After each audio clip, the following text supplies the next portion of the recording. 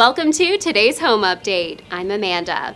There's a lot to think about when building a new home, but the experts at Moen suggest focusing on the following areas. First, the bathroom. Americans on average spend 45 minutes in the bathroom each day, so it must be both stylish and durable. You can save thousands of dollars in the long run by upgrading your bathroom during the construction process.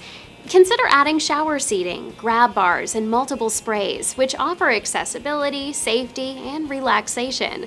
Of course, as the heart of the home, you'll spend most of your time in the kitchen, so it should be both functional and enjoyable. Items in the kitchen that can help increase your home's value include energy efficient appliances, an island for increased counter space, and smart home technology such as a touchless faucet. Finally, consider wood floors, which never go out of style. If money is an issue, install them in only heavily trafficked areas like the living room, kitchen, or foyer.